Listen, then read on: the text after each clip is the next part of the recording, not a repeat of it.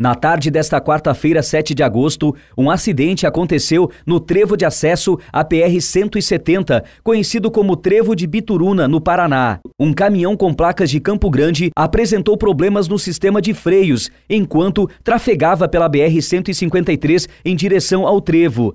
Devido à falha mecânica, o caminhão colidiu na traseira de uma caminhonete Amarok com placas de General Carneiro. Com impacto, a Amarok foi arremessada para fora da pista. O condutor da caminhonete sofreu apenas ferimentos leves. Ele foi encaminhado ao hospital regional para atendimento médico. Infelizmente, o condutor do caminhão não teve a mesma sorte. Ele ficou preso entre as ferragens do veículo e, apesar de todos os esforços das equipes de resgate, ele não resistiu aos ferimentos e morreu no local o Instituto Médico Legal de União da Vitória foi acionado para remoção e identificação do corpo do motorista do caminhão.